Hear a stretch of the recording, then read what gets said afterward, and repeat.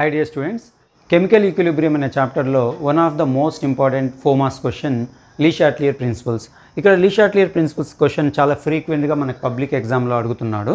So ఈ question ఎలా అడుగుతాడు? Explain Le Chatelier's principles with example అని అడుగుతాడు. ఇక్కడ ఏదో ఒక ఎగ్జాంపుల్ అన్నప్పుడు మనము ఇక్కడ నేను బోర్డు మీద మీకు టూ ఎగ్జాంపుల్స్ రాశాను. హేబర్స్ ప్రాసెస్ కాంటాక్ట్ ప్రాసెస్ రెండిట్లో ఏదో ఒక ఎగ్జాంపుల్ మీరు రాయొచ్చు. లేదా పర్టికులర్గా హేబర్స్ ప్రాసెస్ అని ఎగ్జామ్లో క్వశ్చన్ పేపర్లో మెన్షన్ చేస్తే మాత్రం మీరు హేబర్స్ ప్రాసెసే రాయాలి. అలానే కాంటాక్ట్ ప్రాసెస్ పర్టికులర్గా అడిగితే కాంటాక్ట్ ప్రాసెస్ రాయాల్సి వస్తుంది. నేనైతే మీకు బోత్ ఎగ్జాంపుల్స్ ఎక్స్ప్లెయిన్ చేస్తాను. అండ్ రెండింటిని సిమిలారిటీగా కంపారిటివ్గా ఎక్స్ప్లెయిన్ చేయడం వలన మీకు చాలా ఈజీగా నేర్చుకునేటువంటి అవకాశం ఉంటుంది. కాబట్టి రెండిట్లో చాలా సిమిలారిటీస్ ఉంటాయి. చాలా ఈజీగా సింపుల్గా ఈ క్వశ్చన్ ఎలా నేర్చుకుందామో చూద్దాము. అయితే ఈ ఆన్సర్ మొత్తంలో మోస్ట్ ఇంపార్టెంట్ పార్ట్ డెఫినేషన్. డెఫినేషన్ని మనం మంచిగా అర్థం చేసుకుంటే రిమైనింగ్ పార్ట్ ఈజీ అవుతుంది.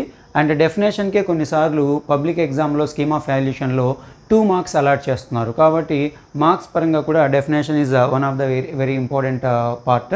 And కొన్నిసార్లు state Le Chatelier principles two marks క్వశ్చన్స్కి కూడా స్టేట్మెంట్ అడగవచ్చు. సో ఫస్ట్ ఈ స్టేట్మెంట్కి వెళ్ళే ముందు నేను మీకు ఒక చిన్న ఎగ్జాంపుల్ చెప్తాను. సపోజ్ ఒక క్లాస్ రూమ్లో స్టూడెంట్స్ అందరూ హ్యాపీగా జాలీగా మాట్లాడుకుంటున్నారు. ఇంతలో ఒక సార్ వచ్చి say for example chemistry sir వచ్చి మీకు రేపు టెస్ట్ పెట్టబోతున్నాను ఫస్ట్ ఫోర్ చాప్టర్స్ మీద. మీరు రేపు ఎగ్జామ్ రాయాలి. ఎగ్జామ్లో థర్టీ కంటే తక్కువ మార్క్స్ వస్తే అవుట్ ఆఫ్ సిక్స్టీ థర్టీ కంటే తక్కువ మార్క్స్ వస్తే ఫైవ్ హండ్రెడ్ రూపీస్ ఫైన్ అని చెప్పారనుకోండి. అప్పుడు మనం ఏం చేస్తాము? కొంతమంది స్టూడెంట్స్ ఆ ఫైవ్ హండ్రెడ్ రూపీస్ని అరేంజ్ చేసుకోవడానికి కొంతమంది ట్రై చేస్తూ ఉంటే ఇంకొంతమంది స్టూడెంట్స్ ఆ ఎగ్జామ్కి సంబంధించిన ప్రిపరేషన్లో మునిగి ఉంటారు. అంటే సడన్గా ఏదన్నా అలాంటి అనౌన్స్మెంట్ విన్నప్పుడు మనలో కొన్ని చేంజెస్ జరుగుతాయి. ఫైనల్గా మనం ఏం చేస్తాము? ఆ మనలో కలిగినటువంటి ఆ చేంజ్ను మనం రెక్టిఫై చేసుకోవడానికి లేదంటే దాన్ని ఆ టెన్షన్ను తగ్గించుకోవడానికి మనము ప్రయత్నిస్తాం. అంటే ఫైన్ కట్టడానికి కొంతమంది స్టూడెంట్స్ ప్రయత్నిస్తే ఫైన్ నుంచి తప్పించుకొని ఎగ్జామ్కి ప్రిపేర్ అయ్యి ఎగ్జామ్లో మంచి మార్క్స్ తెప్పించుకోవడానికి మరి కొంతమంది స్టూడెంట్స్ ప్రయత్నిస్తారు. అలా అలానే ఒక రియాక్షన్ ఈక్విలిబ్రియంలో ఉన్నప్పుడు ఆ ఈక్విలిబ్రియంలో ఉండేటువంటి రియాక్షన్లో మనం కొన్ని చేంజెస్ చేసినప్పుడు ఆ రియాక్షన్ ఆ చేంజెస్ను రెక్టిఫై చేసుకోవడానికి నల్లిఫై చేసుకోవడానికి ట్రై చేస్తుంది. సో దాన్నే మనము లీషాట్లియర్ ప్రిన్సిపల్ అంటాము. ఈ లీషాట్లియర్ ప్రిన్సిపల్స్ అనేది ఇండస్ట్రీస్ పరంగా కూడా చాలా చాలా ఇంపార్టెంట్. ఒక ఈక్విలిబ్రియం రియాక్షన్ నుండి మనము మోర్ ప్రోడక్ట్ని ఎలా పొందవచ్చు రియాక్టెంట్స్ నుంచి ఎక్కువ ప్రోడక్ట్స్ని ఎలా పొందవచ్చు అనేది ఈ లీషాట్లీ ప్రిన్సిపల్స్ మీదనే డిపెండ్ అయి ఉంటుంది. ఇక్కడైతే నేను ఆన్సర్ చాలా షార్ట్గా మీకు ఎక్స్ప్లెయిన్ చేయబోతున్నాను. డీటెయిల్ ఎక్స్ప్లెనేషన్ అయితే ఉండదు. ఆల్రెడీ నేను చెప్పాను కదా మీకు ఇవి ఈ వీడియోస్ అన్నీ కూడా జస్ట్ కెమిస్ట్రీ అంటే భయపడే వాళ్ళకి కెమిస్ట్రీ పాస్ అవ్వడానికి మాత్రమే చేస్తున్నాను. చూడండి.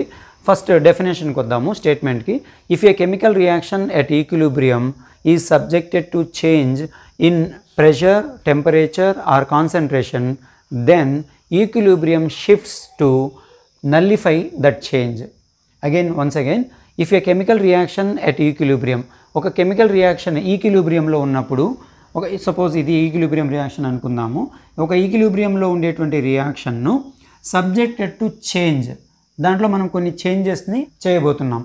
ఆ చేంజెస్ వేటిల్లో అంటే ప్రెషర్లో కానీ టెంపరేచర్లో కానీ లేదా దాని కాన్సన్ట్రేషన్లో కానీ ఇలాంటి విషయాల్లో దాంట్లో మనం ఏదైనా చేంజెస్ చేసినప్పుడు అప్పుడు దెన్ ఈక్విలిబ్రియం షిఫ్ట్స్ టు ఆ ఈక్విలిబ్రియం షిఫ్ట్ అవుతుంది. అంటే తన పొజిషన్ను మార్చుకుంటుంది. ఏ డైరెక్షన్లోకి మార్చుకుంటుంది? Shifts to nullify that change ఆ చేంజ్ను తగ్గించుకోవడానికి నల్లిఫై అంటే ఇక్కడ క్యాన్సిల్ అనమాట ఆ చేంజ్ను క్యాన్సిల్ చేసుకోవడానికి లేదా తగ్గించుకోవడానికి ప్రయత్నిస్తుంది.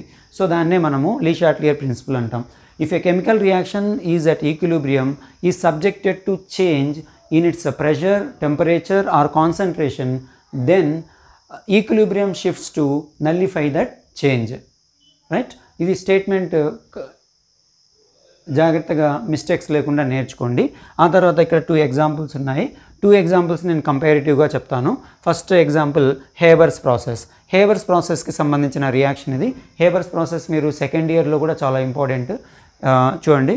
N two plus three H two gives two NH three N two plus three H two gives two NH three ఇక్కడ అన్నీ కూడా గ్యాసెస్ స్టేట్లో ఉన్నాయి.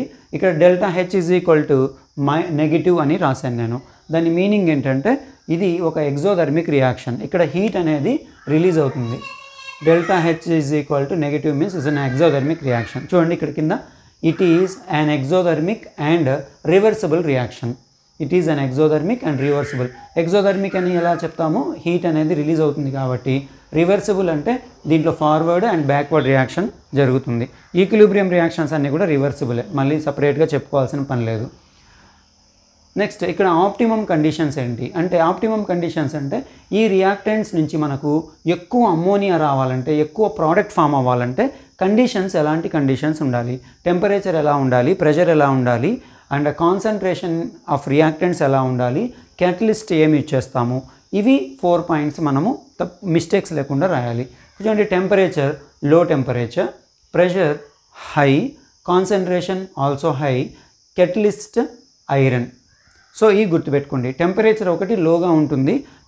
టెంపరేచర్లో అండ్ కెటలిస్ట్ ఐరన్ అని గుర్తుపెట్టుకోండి. మధ్యలో ఉండేవి రెండు కూడా హై ప్రెషర్ హై ఎంత ప్రెషర్ యూజ్ చేస్తామంటే టూ హండ్రెడ్ అట్మాస్ఫియరిక్ ప్రెషర్ ఇక్కడ టెంపరేచర్లో అని రాసాం కదా సెవెన్ ట్వంటీ ఫైవ్ కెల్విన్ అని గుర్తుపెట్టుకోగలిగితే గుర్తుపెట్టుకోండి లేదంటే లో టెంపరేచర్ అని రాసినా సరిపోతుంది. అండ్ కెటలిస్ట్ ఐరన్ ఇది Haber's process any one example రాయొచ్చు. మీరు ఇది సింపుల్గా ఉంటుంది ఇది ప్రాక్టీస్ చేయండి.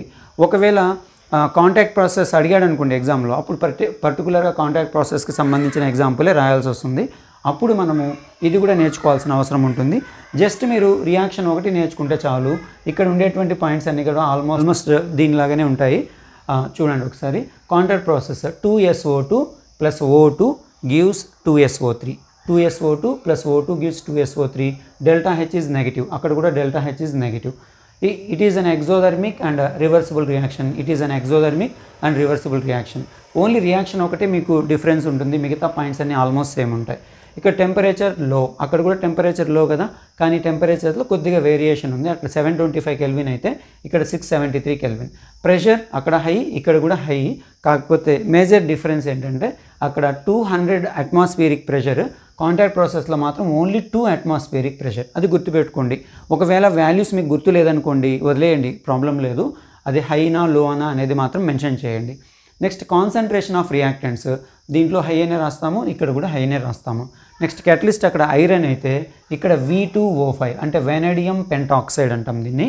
So V two O five so ఇలా మీరు రెండింటిని నేర్చుకుంటే you will be very comfortable and confident about Le Chatelier's principle so here the most important point is as I told already the statement you should write statement without any mistakes after that you have to give any one of the examples and better to learn both the examples. If you cannot uh, at least you learn any one of these two examples right?